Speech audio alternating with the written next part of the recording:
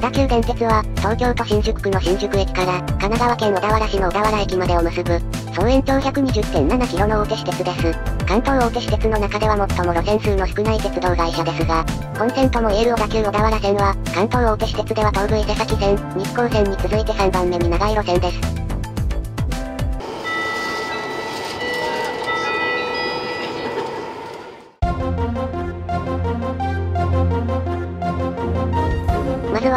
急ロマンスカーから、特急ロマンスカーにもいくつかの系統がありますが、まずは最も基本となる、箱根号から、箱根号は全列車が新宿箱根湯本間で運転され、基準となる停車駅は蒸気のような感じで、町田、海老名、本厚木、小田原、箱根湯本です。このほか、一部新百合ヶ丘や相模大野に停車する電車も存在します。箱根号の停車駅パターンは、そこまで複雑ではないので、ここで一気に紹介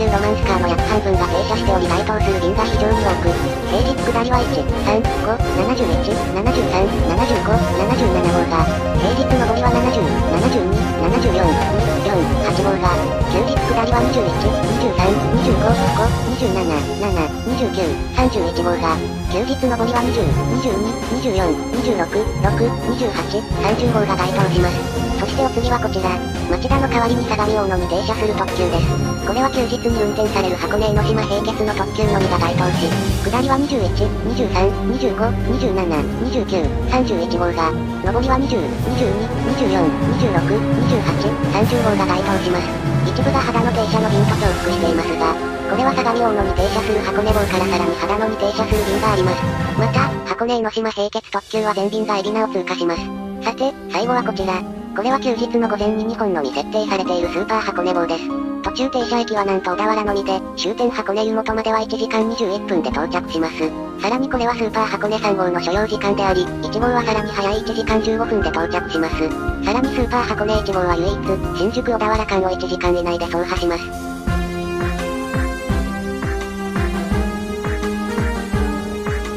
さて、お次は江ノ島線系統です。この江ノ島線系統は平日と休日で大きく運転形態が変わり、平日は夜の1往復のみ、どちらも GSE で運転されますが、休日では上下ともに朝から運転されます。さらに、休日に運転される江ノ島号は上りの2号と4号以外は、すべて箱根号に並結して運転されます。停車駅は全列車が共通で、途中新百合ヶ丘、大和、藤沢、片瀬の島に停まります。さらに、休日の場合相模大野で箱根号との並結のため、3分ほど停車します。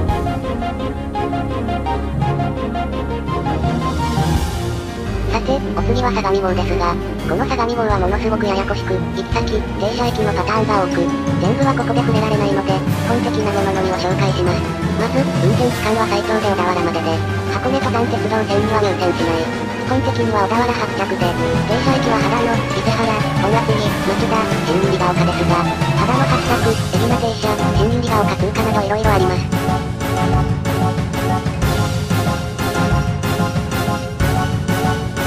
はモーニングウェイ号です。こちらは朝の上がりのみが運転され、平日は有料の通勤ライナーのような役割を、休日は新宿方面へのお出かけの際に着席故障を提供する電車となっています。こちらも始発駅や停車パターンが多様ですが、最も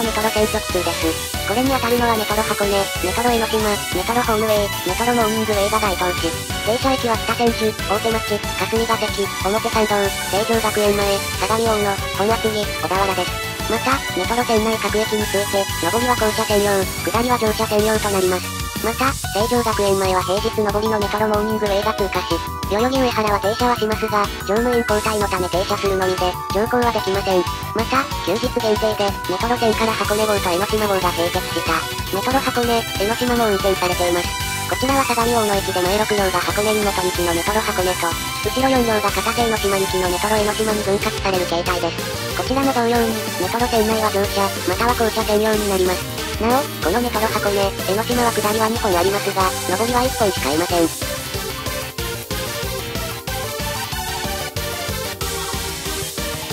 最後に、特急富士山号です。こちらは小田急線新宿から JR 御殿場線の御殿場駅までを走行する特急です。途中松田の手前で JR 線への連絡線を経由し、御殿場線の御殿場までを走ります。また、小田急線内の停車駅は全便が同じで、途中停車駅は新百合ヶ丘、相模大野、旗野、松田、御殿場です。なお、1、3、6号はこれらの駅に加え、鶴ヶ尾山に停車します。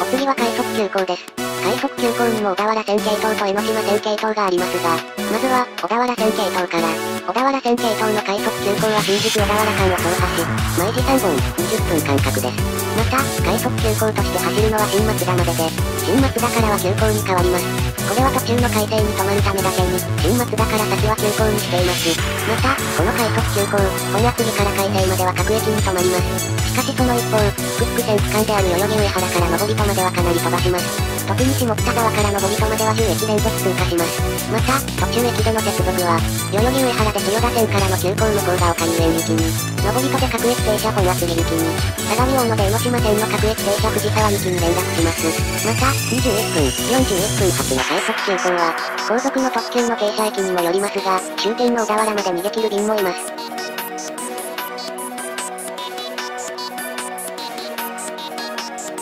て、お次は江ノ島線系統です。こちらは新宿から江ノ島線の途中駅、藤沢までを走ります。22年3月改正までは、この江ノ島線系統の快速急行は片瀬江ノ島まで運転されていましたが、改正後は藤沢止まりとなり、藤沢で同期間内をピストン運転する各駅停車に接続するようになりました。また、江ノ島線では22年改正以降、藤沢片瀬江ノ島間の快速急行が廃止され、同時に日中の片瀬江ノ島直通列車が特急ロマンスカーのみとなりました。途中駅での接続は、下北沢で各駅停車本厚木行きに、上り戸で各駅停車本厚木行きに、大和で各駅停車藤沢行きに、終点の藤沢で各駅停車片瀬の島行きに連絡します。このように接続電車がとても多いため、平日夕方の下りは上り戸や相模大野までは非常に混雑するようです。しかし、終点の片瀬の島での接続は、電車によって少々偏りがあり、最も短いもので3分ですが、おおむね6分から8分程度。最も長いものでは、藤沢で10分以上待たされるものもあります。こうなっているのは、藤沢江ノ島間のピストン電車の運転間隔にあります。この区間をピストン運転する各駅停車は一定の間隔で発車しているわけではなく、列車間隔が12分だったり14分だったり、10分だったりしているため、快速急行との接続に差が生じています。この辺りの運転間隔を緊密にし、江ノ島線の快速急行との接続を少々改善してみるのが今後の課題かなと思っています。先日の通り、この区間を走る電車は全て藤沢江ノ島間のピストン運転なので、江ノ島側での発車時間を調整すれば、いくらでも藤沢の発車時間を変えることはできると思います。以上、快速急行でした。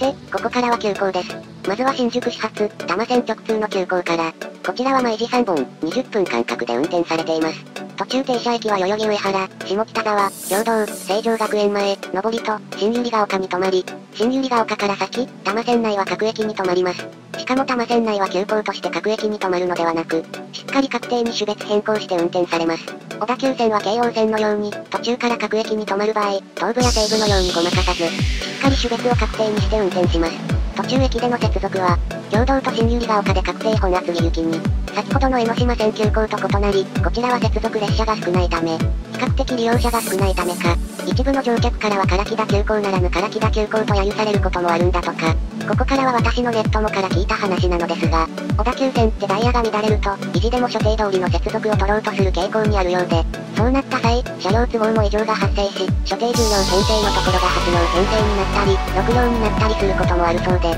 色々な混乱が起きるのですが、この多摩線急行は利用者が他の快速急行や急行よりも少ないのにもかかわらず、なぜか多摩線急行は所定通り重量で来るのに、後続の江ノ島線階級や小田原線階級が8両編成できてしまうことが結構あるそうで、そうなるとただでさえ混雑する江ノ島線階級の混雑がさらに悪化してしまうのにもかかわらず、あまりお客さんの乗らない多摩線急行は重量で余裕があるところを見ると、少々殺気が湧いてしまうそうです。よく小田急のダイヤ乱れ時の対応は他社よりも劣ると言われることがあるのですが、この両数の加減ができないのも理由の一つとも言えそうです。他には追加料金を徴収してる特急ロマンスカーを真っ先に運休にしたり、所定通りの接続を取るために確定を途中でバカ停させ、階級や急行だけでなく、接続先の確定にまで遅延を波及させるとかでしょうか。まあそれもこれも実際に経験したわけではなく、あくまで沿線民の話や投稿を漁ったものなので、参考程度ということにしておいてください。また、夕方以降は新百合ヶ丘での種別変更がなくなり、多摩線内も含め全区間で急行となります。これは新百合ヶ丘始発の多摩線確定が毎時2本増え、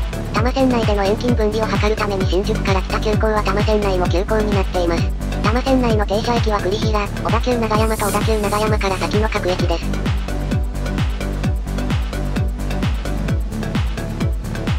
さて、お次は町田小田原間の急行。通称赤丸急行です。こちらは新松田から急行になり、新松田から先は各駅に止まります。しかし急行は本厚木から新松田まで各駅に止まるため、実質的には本厚木から各駅に止まります。本厚木から先の各駅に止まる理由としては、新宿から北各駅停車は日中全便は本厚木止まりとなるため、本厚木から先の各駅の利便性悪化防止のために、急行と快速急行が停車しています。そして新松田から小田原の各駅へは赤丸急行が各駅停車になることで、しっかりと保管されています。小田原線の最末端となりますが、それでもこの赤丸急行が毎時3本停車します。また、この赤丸急行は途中駅での接続、待機はありません。ただし後続に特急がいる場合、伊勢原で特急を先に通します。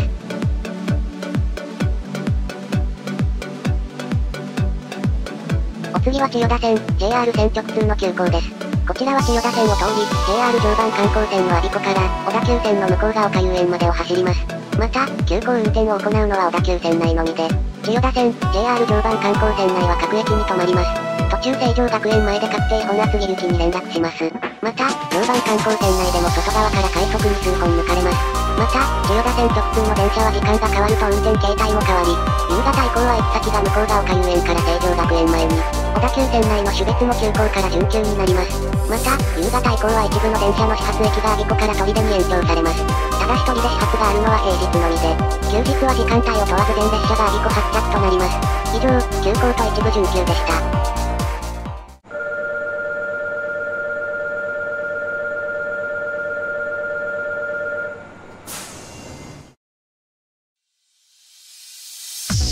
お次は各駅停車です。まずは小田原線新宿発着から、こちらは新宿から本厚木までを走り、途中駅での高速列車待機は、福福線区間で特急を、共同で快速急行を、成城学園前で急行を、上りとで快速急行を、新百合ヶ丘で急行と特急と快速急行を、海老名で急行を待機します。また、終点の本厚木で快速急行に接続します。しかし、今示した待機はあくまで一例で、特急の待機がない便や途中抜かれる電車の種別、行き先が異なる場合があります。特にこの本厚木行きは途中の新百合ヶ丘と海老名でバカ停止。海老名では6分、新百合ヶ丘ではなんと7分間も停車します。このバカ停中にいくつもの後続列車に抜かれていくのです。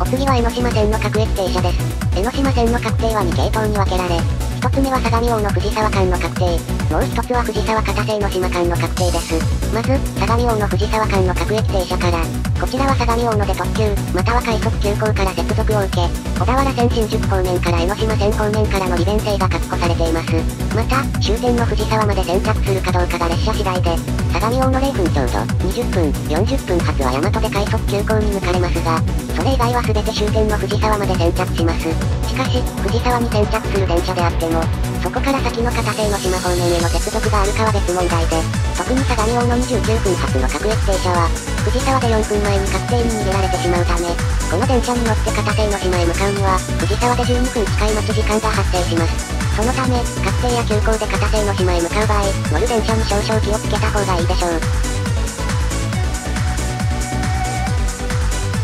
さて、次は江ノ島線の末端、藤沢片瀬江ノ島間の確定です。この区間の各駅停車は毎時5本ありますが、すべての電車が12分間隔で出ているわけではなく、途中で一部間隔が崩れるのです。12分、24分、36分まではしっかり12分間隔ですが、36分以降は49分、59分となり、最初の12分に戻ります。このように間隔が不均一に崩れるため、江ノ島線の相模大の藤沢間を走る確定や階級との接続が噛み合わないことが少々あります。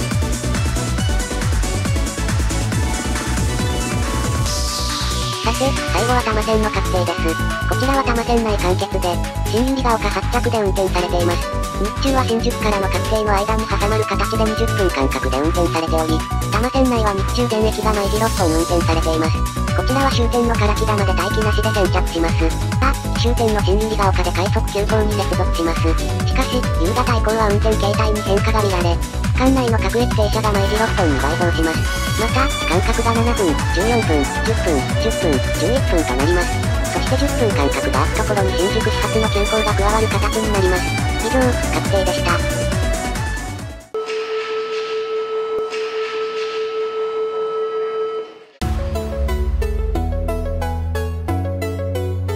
ここからは通勤時間帯限定の種別です。まずは通勤急行から。この通勤急行は平日上がりのみ運転され、全列車が多摩線の唐木田、または小田急多摩センター始発です。多摩線内は急行や快速急行と停車駅は変わりませんが、小田原線内の停車駅内は成城学園前、共同、下北沢、代々木上原であり、快速急行停車駅である上りとは通過し、快速急行通過駅の成城学園前と共同には停車します。上位種別が停車するのに下位種別は通過する、通称気取り停車であり、これにより、一部では通勤急行トラップなるものがあるようです。この通勤急行は上りとから先の福福線区間では内側の急行線を走り、外側を走る確定や通勤準急を軽々と抜かしていきます。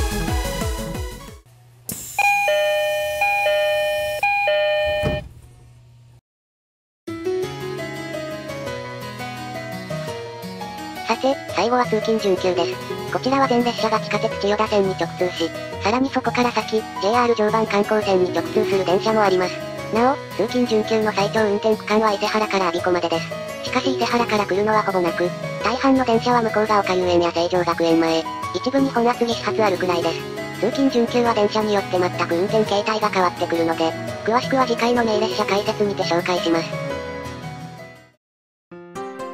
さて、ここまで小田急線のダイヤを紹介してきましたが、いかがでしたでしょうか？路線長が長く、パターンダイヤもかなりややこしく、千代田線、JR 線直通も含めるとかなりややこしかったと思います。次回では小田急線、千代田線を走る名列車を紹介していく予定ですが、現状動画のストックが大量にあるので、投稿順が入れ替わる可能性もあり得ます。それでは、今回はここまでです。ご視聴ありがとうございました。